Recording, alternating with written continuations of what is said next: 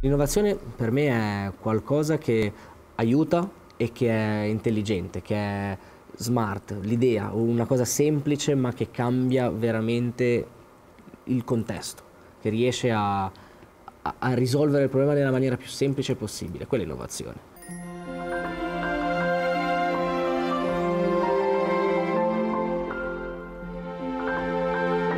Fin da piccino diciamo che la passione per i robot piuttosto che per le macchine in generale era era forte, quindi mi piaceva costruire, mi piaceva eh, vedere le cose diciamo con mano e provare, chiaramente con l'età che si aveva, a, a, a, creare qualcosa. E poi durante il percorso degli studi, soprattutto la fase diciamo prima dell'università, quindi le superiori, mi interessava l'elettronica, mi interessavano alcuni aspetti della tecnologia, chiamiamola in, in generale, informatica, elettronica, eccetera, quindi ho fatto un perito appunto in elettronica. La maturità non è andata benissimo, quindi l'idea era quella di valutare l'opzione di non proseguire gli studi. Quando è uscito il voto, quando i professori si sono confrontati con i genitori che loro umilmente hanno detto va bene non c'è problema cercheremo un lavoro. Da lì quasi invece per ripicca mi è venuta l'intenzione ho proposto quindi a mia madre eh, di iscrivermi a ingegneria. Lei quasi scioccata stava per svenire ha detto va bene proviamo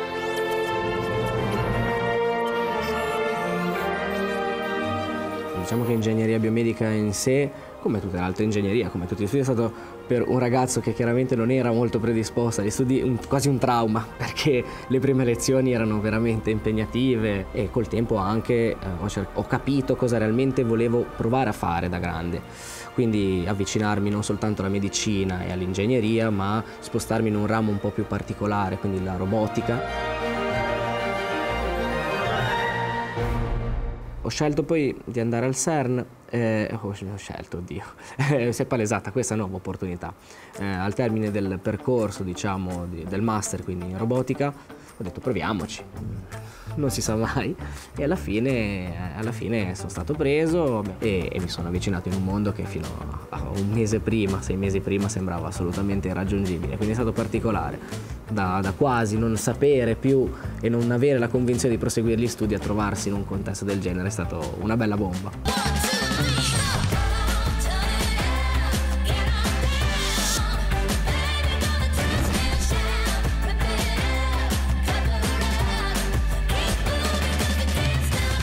valle quindi di questa esperienza al CERN ehm, eh, c'è stata la possibilità di fare un'application all'Istituto Italiano di Tecnologia e, e, quindi dopo una selezione sono stato, sono stato appunto eh, identificato come una parte, un componente del team che aveva lo scopo di realizzare un dispositivo di mano protesica, quindi la mano Hannes. Ecco che quindi eh, da qui eh, ho iniziato con una serie di altri miei colleghi, come chiaramente junior all'inizio di questi sei anni e mezzo di, di, percorso e col tempo sono cresciuto, adesso mi trovo quasi a, a gestire il progetto, quindi un bel percorso.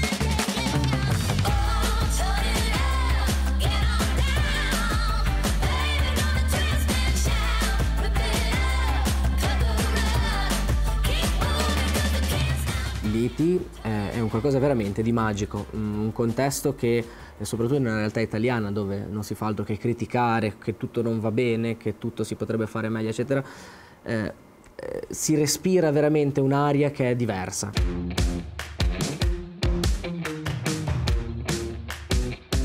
L'IT è semplicemente il luogo dell'innovazione, è veramente un posto dove ci sono tante persone, siamo in 1600, eh, 800, 900 soltanto qua a Morigo e chiaramente ognuno lavora al proprio progetto ed è interessante quando invece emergono cose trasversali, quindi lavorando insieme eh, con, pro, con, le proprie competenze su cose completamente diverse, la, la, la genomica che si mischia con altre, l'intelligenza artificiale, la robotica che si mischia con le scienze per la vita.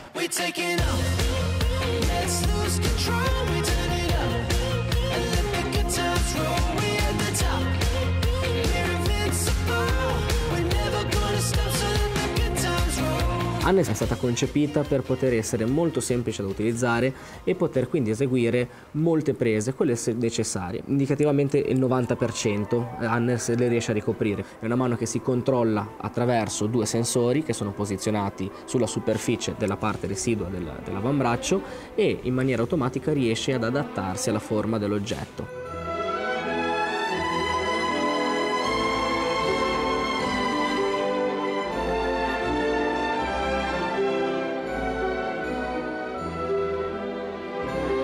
Ci sono stati dei momenti in cui chiaramente le cose non funzionavano e non funzionavano come dovevano funzionare. Un problema particolare è appunto la robustezza, il problema che si rompevano i cavi. Quindi il fatto che il motore non riuscisse a trasportare la forza opportuna che doveva essere in grado di erogare, quindi la reale forza di presa della mano. Un episodio interessante è stato il fatto di addirittura dover andare ad appellarsi a un, a un negozio di pesca. Siamo andati da, da, un negozio proprio perché non sapevamo proprio quale cavo identificare e una signora che è un'esperta a quanto cane, che dobbiamo ringraziare ancora adesso, ci ha suggerito un particolare tipo di cavo che è un tessuto in intrecciato che adesso tuttora abbiamo e che è, è quello che ha risolto il problema.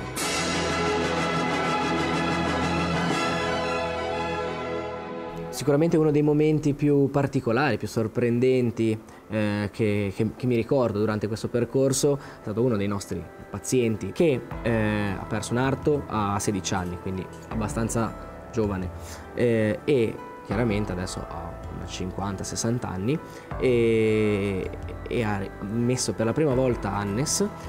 e abbiamo notato come naturalmente afferrando la penna ha iniziato a scrivere e lui ci ha fatto notare una cosa che per lui era quasi scontata, aveva la stessa calligrafia di quando a 16 anni aveva perso l'arto.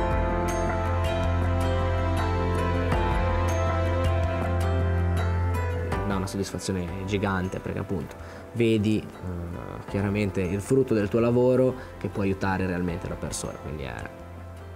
è bello.